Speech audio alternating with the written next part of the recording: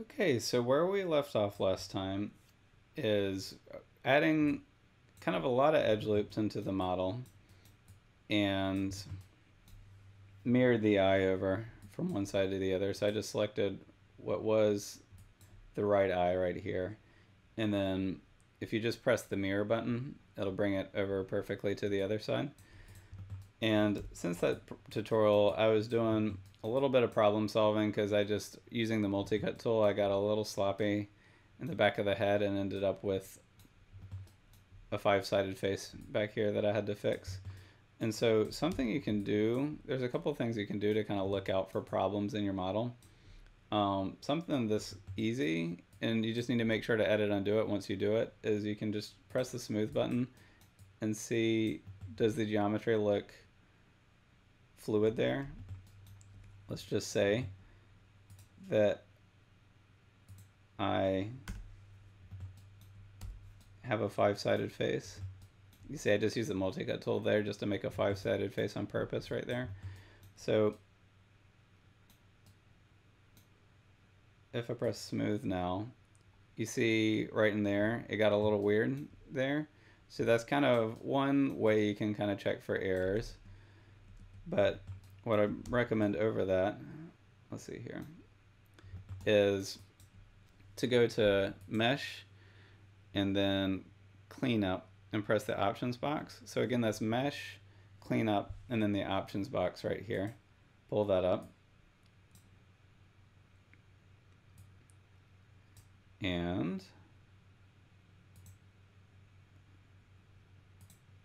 so on cleanup options, I'm going to try clicking these two right here. We actually don't, we definitely don't want four-sided faces selected, so do not check that one off. Um, and what this is going to do is I'll go into objects mode and press apply. Let me see if I can get, find the right setting here.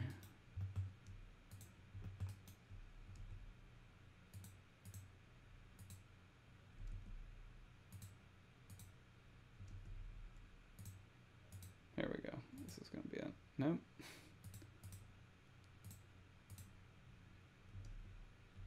I'm pressing edit undo after each time. Okay.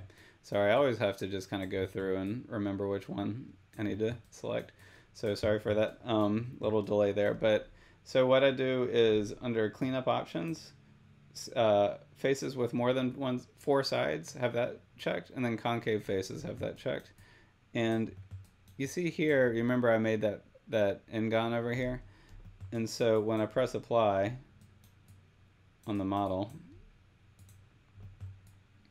you see the model shifted colors a little bit and it highlights and it kind of makes it a fix where it turns it into tris there. Um, it tries to fix the model for you. But how I use this cleanup options box is I just press apply and it'll highlight in orange the area that's got a five-sided face and try to fix it. And then from there, I'll edit undo and just look at the area and maybe check in vertex mode. So right click in vertex and then I can see the area that's a problem and fix it just by deleting that vertex there in this case. And then I'll press apply again and you'll see nothing changed. And so if nothing changes, that's a pretty good sign that your model's in good shape. Um, so again, this cleanup options box, I, I don't, or I highly recommend not using it to actually fix your model per se, but I do recommend kind of checking off these two check uh, check boxes and then using it to kind of lo locate problems in your mesh. And so that's kind of something I was doing just a few minutes before starting this tutorial because I had just a couple in the back that were a problem. And so I used this tool to just highlight the, the areas that were a problem and then moved on from there. So this model should be in good shape just from uh, that point of view. And so I'm going to right click and um, mirror the geometry. And when you mirror the geometry, it should, whoops, um, uh, weld together there. Um, if it doesn't weld together, just make, um, and it and it definitely should. Um, but if it doesn't weld, I always make sure to press edit undo after kind of moving one of those vertices. Um, if it doesn't weld, just go to mesh um, mirror and select the options box and just um, make sure that these settings look like this. So now I want to show the the sculpting kind of the smooth relax tool and then um, using sculpting this using the soft selection tool. Because basically what's happened so far is we've made all these edge loops. This model's pretty full.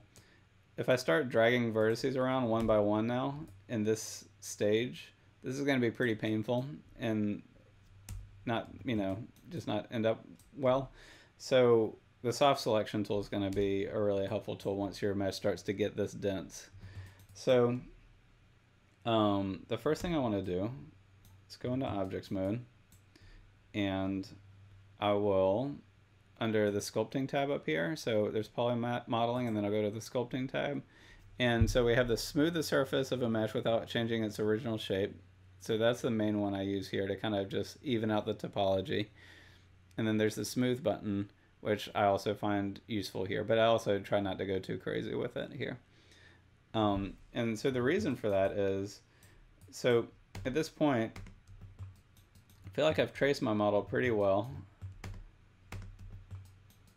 Looking in the orthographic view.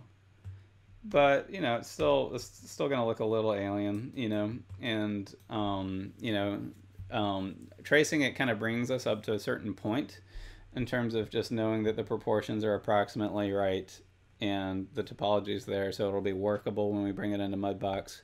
And so what this step is, is just kind of using our artistic eye for a moment and just making the necessary adjustments just to kind of bring it up another step before starting to, you know, um, get to the final steps here. So um, with the whole model selected in objects mode, I'm going to click this button right here, which is the um, smooth the surface of the mesh without changing its original shape. And I'm going to make sure that symmetry is turned on. That's really important here. So in the modeling toolkit, turn on symmetry right here. And so now when I sculpt, it'll do it on both sides. And if you, you can see here, I have a brush and it's that size and I don't have a lot of control. So the way you get control over it is you just double click the tool and it'll show up like that. And on your model, Maya wants us to work really big and so the brush size starts out really big and so when you first use the tool it might look like this where you can't even find a brush. And so just make sure that under the tool you under the size you change the brush size to something really small until you can kind of find that brush here. And I would say something about this size would probably be good and so I have symmetry turned on. I double clicked that, that button right there. And it's got this tool settings menu. And I changed for me. My brush size I set to 1.5 and here if I'm gonna just kind of use my my mouse kind of draw along it. You can see here it's just kind of I can take this strength down a little bit if it's going a little too hard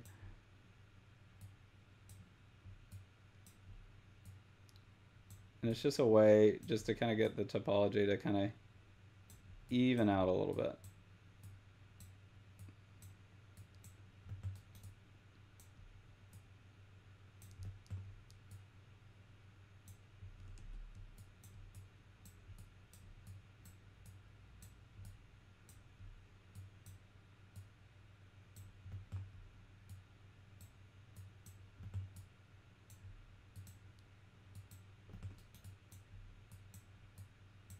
And if I drag it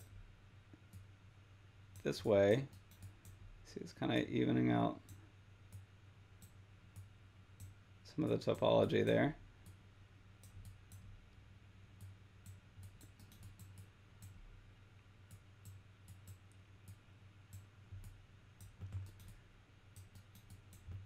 and so I just I find this tool really helpful. I'm trying I'm gonna try not to go too much into the face there. I was just um, the top and the back of the head, you know, I just hadn't been paying much attention to it because I was mainly concentrating on the topology on the face. But even here, it's a little uneven.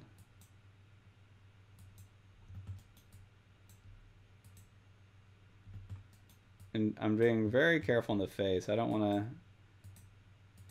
do too much here. But I do want to even out the topology. Oops.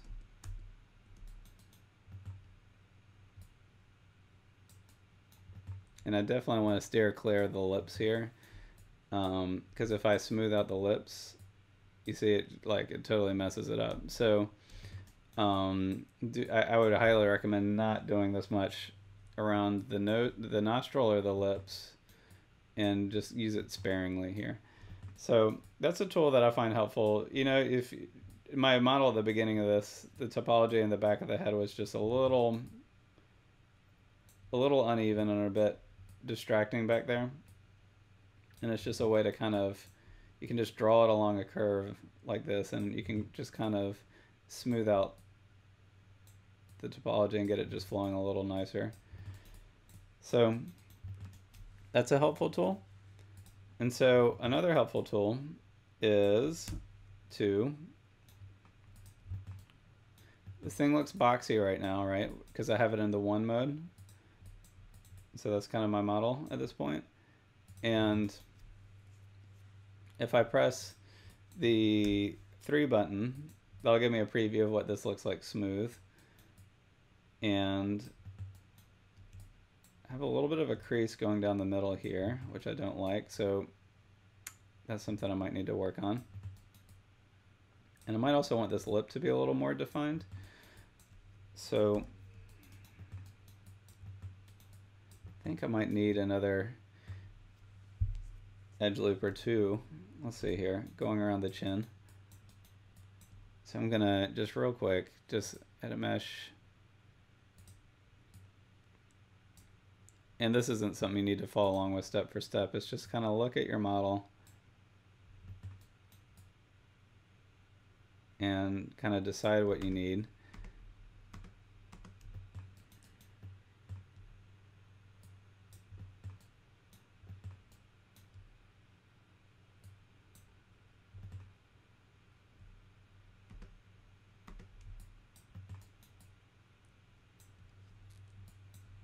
Might have added too much topology there.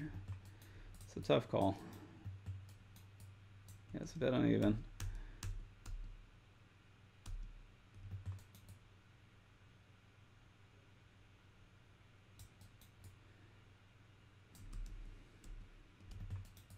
It's tricky because I had it even before in terms of topological flow, but I kind of want more information there.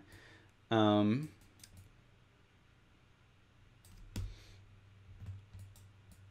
I will go back to having that edge loop there. I just, yeah, I think I really need that edge loop in there. So, um, sorry about the indecision there. So, at this point, it's just kind of time to shape some things a little bit further. And so, I like to stay in the three mode at this point. So the kind of preview what it looks like smoothed. And I can see that I have these ridges here, um, the hardness of the lip, the topology's there, and I, I want a steeper ridge to happen there. I guess I could just go ahead and fix that. Um,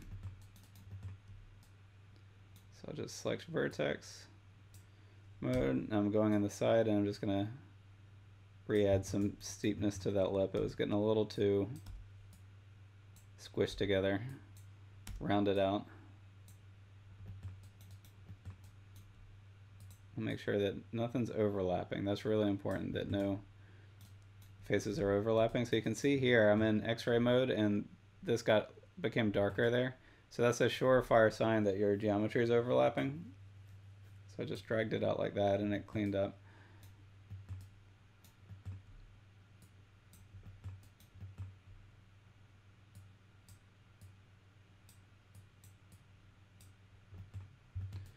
Let's see what this looks like.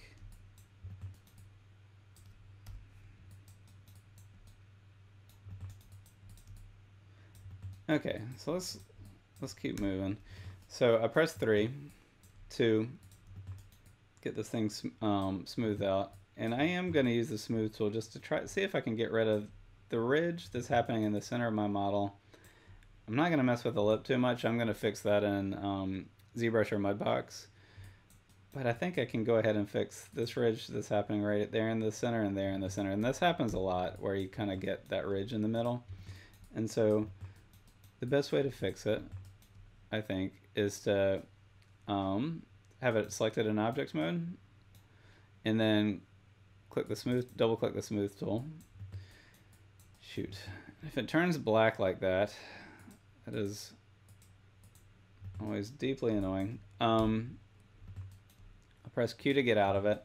In the past when this happened, I've had to restart um, Maya. So if you go to the sculpt tools and you double click and it turns black like that, that's Maya being Maya here. Um, and you can't really work that way. So I'm just going to save the scene. And so I have the scene saved. I'm going to quit Maya and then re reopen it. And usually that fixes that problem. Okay, so selecting my model, fingers crossed here.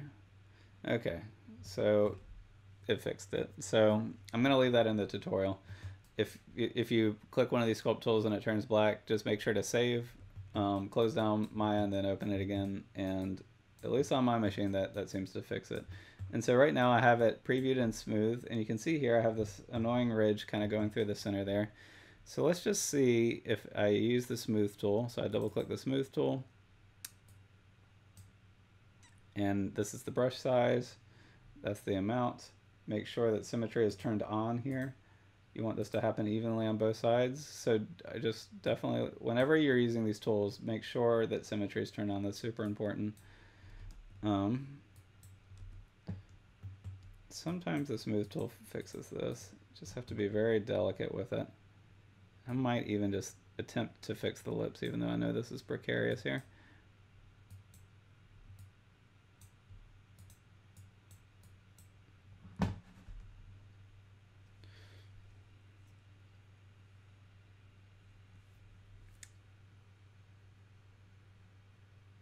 Um, so my computer is freezing.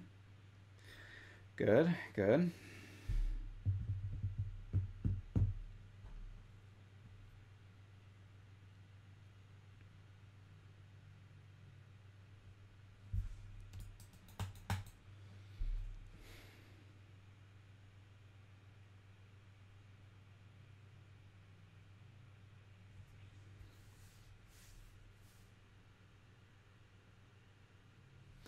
Okay, I don't think this is gonna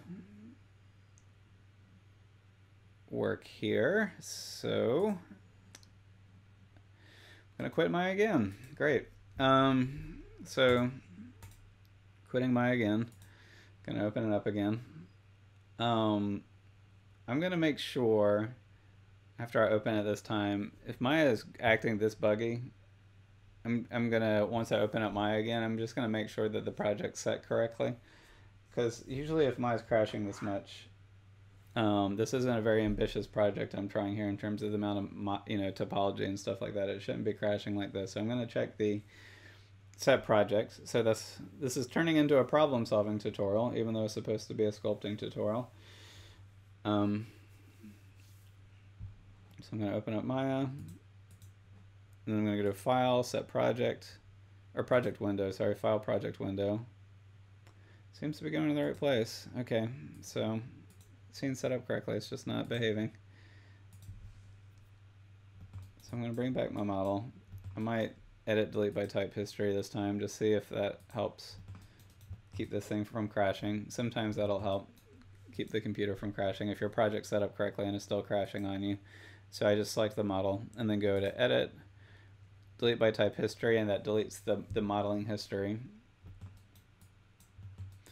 And so, fingers crossed again, I'm gonna save my scene and try to fix that ridge again. So with the object selected, I'm in three mode, so it has the appearance of being smooth right here, and you can see there's the ridge there and kind of a crease happening in the middle of the face that I would like to fix. Um, so I'm just gonna double click on this tool and try. Oh, so make sure that um, symmetry is turned on. Okay, I'm going to try this again. So that ridge is kind of staying put. Sometimes the smooth tool can fix this. I'm going to switch over to the um, this tool right here, right next to it, smooth the surface without changing the original shape. Let's just see if that helps out. Worst case scenario, we'll just fix this in um, in ZBrush or Mudbox, depending on what you're using, because that will be able to fix this up.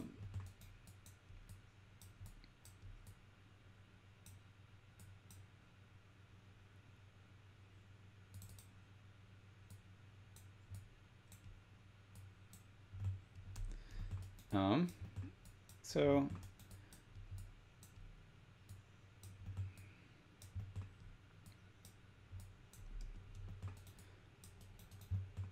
these tools can be helpful for fixing a crease.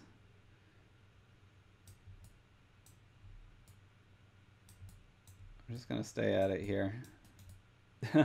you can see I'm creating like a inverted chin here at this point. So I'm going to get out of here. Just check. So the neck area I'm going to worry about less. I'm more concerned about this area. The lip I don't want to mess with too much because again I don't want to lose that definition I have here. So from here I'm going to start showing the soft selection tool because I think I've gotten as far as I can with the smooth tools. And full disclosure, there was a little bit more of a crease here um, before I started this tutorial and I um, fix the crease by using that tool. So even though that looked unsuccessful in that um, this tutorial here, um, those tools can be helpful for getting out the crease. And I had gotten, there was a, bit of a crease in the forehead that I had knocked out just about 10 minutes ago um, using that technique here before I kind of managed to press record here. So I'm going to stay in the three mode and I'm going to go to soft selection and start sculpting that way just a little bit. So soft selection tool, if you remember, is the select tool right here. I'm going to double click it and you'll get this menu with the tool settings. And open this up and click soft select. And so when this is selected, and again we want to make sure symmetry is on, and you right click and go to vertex, you see here when I select a vertex it kind of has a region that is selected. And so I have I can set the fall off radius to be large or medium here and now when I move it, it's not just moving that one point, it's also moving the points adjacent to it that are kind of highlighted in the color. And so when you have this many vertices, sculpting this way can be really helpful and you can start kind of start making some good changes because again, with this many vertices, um, working just by pulling, ver- um, sorry, yeah, with this many, this, this much topology, just moving vertices one by one is just not really a good option.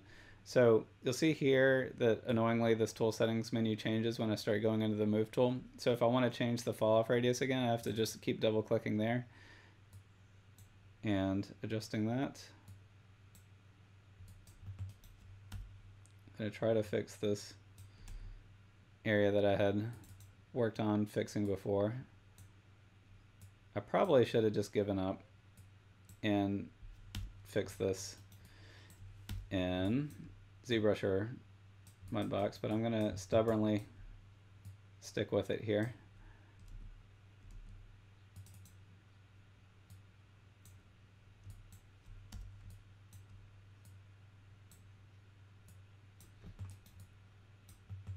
So you see I'm using the soft selection tool to kind of sculpt out the whole chin at once here just by grabbing one vertice. And I recommend kind of continue checking your, oops, your orthographic views and keep matching that up. One thing that's really nice about this, uh, particularly when symmetry mode is on, is you can start being a little more loose with the vertices that you select and how you decide to move them. I was just toggling with the 1, 2, and 3 button there.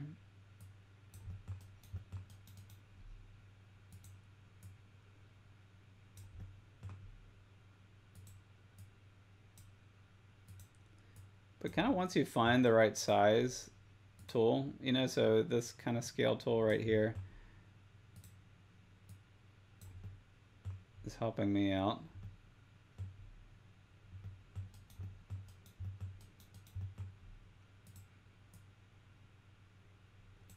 Careful messing with the eye. So make sure that the eye is still visible here.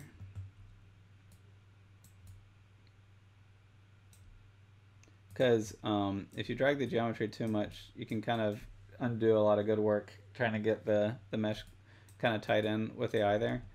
So yeah, just tread, tread lightly in this area. Make sure that the soft selection tool isn't going too far into the to the eye region there.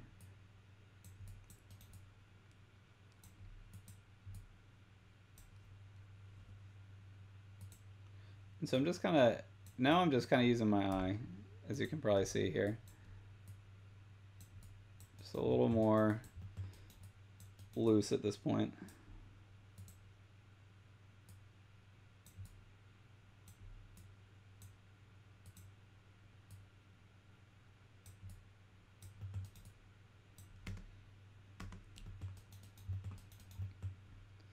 And so one thing that's nice about kind of doing this stage here is it's just kind of it kind of is a clean way to work here typically using this um, soft selection tool with a decent amount of geometry. Um, it's just kind of keeping things um, keeping the mesh simple. And um, there's not too much geometry to contend with. We're not gonna gonna be less likely to turn the model wrinkly by kind of getting into detail here.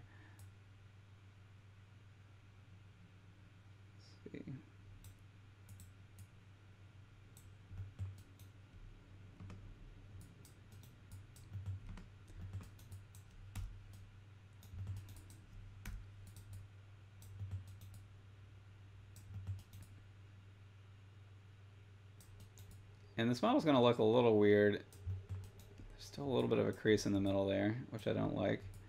Because um, she doesn't have ears, you know, so it's going to look a little bit alien, but just try to remember, you know, try to look at it with the ears cropped out. Or you can skip ahead to the, the ears tutorial and then do this tutorial after that. That's another option. It looks like when I was grabbing the eyes, I might have pulled it a little, you see there that my mesh isn't totally lining up with my eyes anymore. So I need to just, this is one where I might need to fix this manually real quick. Um, and so to do this fix, we could do the soft select tool. I'm just going to make the radius really small. Just kind of bring this back bring it back to home base here. And so I'm going to select two vertices. Again, make sure I'm still in symmetry mode.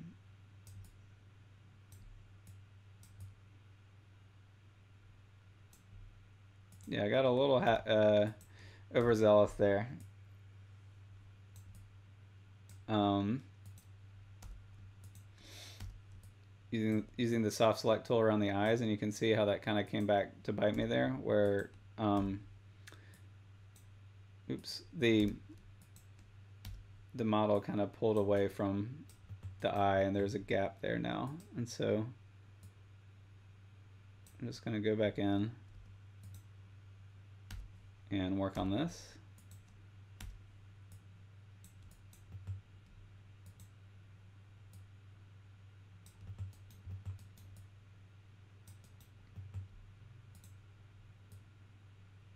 Thing that's nice about the soft select tool here is I can grab one vertex right here, and if I have the fall off radius correct, I don't have to worry so much about, oops, um, selecting two vertices and dragging them one by one. You can just kind of start thinking about getting away with just being a little more loose with things. Okay, so I think that helps kind of bring the eye back.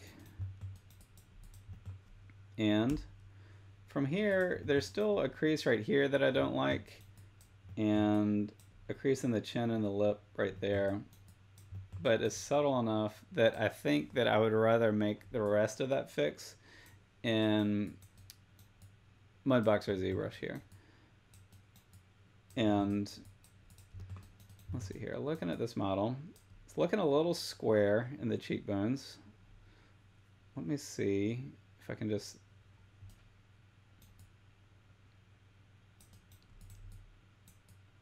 round that out. We're not going to get this thing perfect in this step. You know, that's never what was going to happen. Um, at least for me personally, I, I do a lot of my work in the ZBrush Mudbox kind of realm. And this is mainly about just kind of getting the topology right and getting the model set up so that I can trust that the proportions there are pretty close to, to being right. And then the proportions here are, you know, pretty close to being right. So I can kind of trust the eye placement, all that stuff. And it's just going to make the next step of sculpting a lot easier here.